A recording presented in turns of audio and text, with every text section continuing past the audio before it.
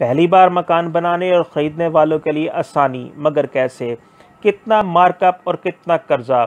State bank ने क्या बड़ा ऐलान कर दिया? नाजरीन, पहली बार मकान बनाने और ख़रीदने वाले अब परेशान होना छोड़े। इनको सस्ते मार्कअप रेट पर कर्जे मिल सकेंगे।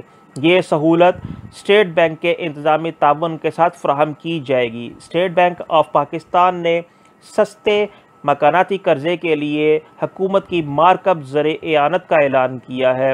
हकूमत आवाम को सस्ते मकानात की तमीर और ख़रीदारी के लिए मार्कअप ज़र एनत फराहम करेगी। हकूमत ने दस साल में कर्ज़ों पर मार्कअप अदायगी के लिए 33 अरब रुपए मुख्त किए हैं। इस मकसद के लिए स्टेट बैंक और हुकूमत पाकिस्तान ने मुफाहमती याददाश्त पर दस्खत किए हैं। मार्कअप ज़र इयानत की सहूलत तमाम बैंकों के ज़रिए दस्तियाब होगी।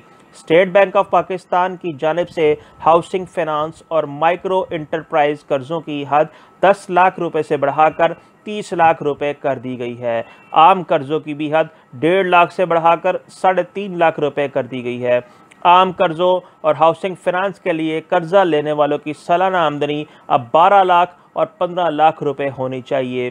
स्टेट बैंक की जानब से घरेलू हंगामी ज़रूरियात को पूरा करने के लिए सोना गिरवी रखवा कर कर्जा लेने की हद में भी इजाफा कर दिया गया है। मज़ीद वीडियोज़ के लिए देखते रहे नवाद दरवेश।